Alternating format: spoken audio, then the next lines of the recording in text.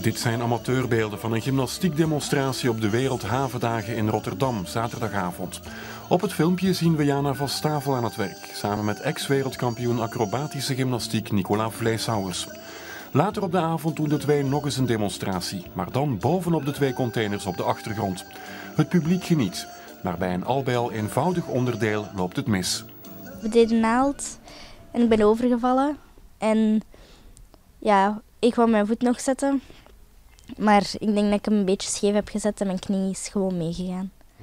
Het is inderdaad een onderdeel dat je al heel vaak gedaan hebt. Ja, naald, daar zou eigenlijk normaal niks mogen fout lopen, want dat is vrij gemakkelijk. Maar ja, bij de makkelijke dingen gebeurt het ook vaak sneller. Een op het eerste zicht banale val, maar wel een met zware gevolgen. Jana's groeischijf wordt geraakt en ze loopt ook nog eens twee breuken op. één in de knie en één in het dijbeen. Omdat Jana op dat moment nog boven op een container ligt, duurt het een hele poos voor ze naar het ziekenhuis kan. Het Rode Kruis moest dan eerst nog naar boven klimmen. Dat was al niet gemakkelijk. En dan ben ik mijn kraan nog naar beneden gehaald om zo in de ambulance te geraken en dan naar het ziekenhuis afgevoerd. En dan zeggen dat de zomer van Jana van Stavel niet meer stuk kon, na drie zilveren medailles op de Europese Spelen in Baku. Daar kwam ze op de wedstrijdvloer met Solano Casamayor uit Willebroek.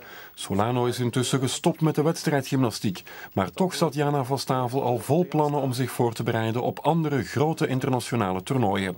Er werd voor gezorgd dat ze terug een nieuwe partner kreeg, uh, om hun in principe klaar te stomen naar het WK in China. Uh, weliswaar in een juniorenafdeling. Uh, maar uh, nu met dit gegeven, ja, dat zal denk ik iets zijn wat we op onze buik kunnen schrijven. Hoe lang de revalidatie zal duren, weten we pas na de operatie van morgen. Maar dat het wedstrijdseizoen nu al om zeep is, lijkt wel vast te staan. Jana van Stavel heeft alvast één nieuwe focus: onderpartner zijn op de Wereldspelen van 2021 in de Verenigde Staten.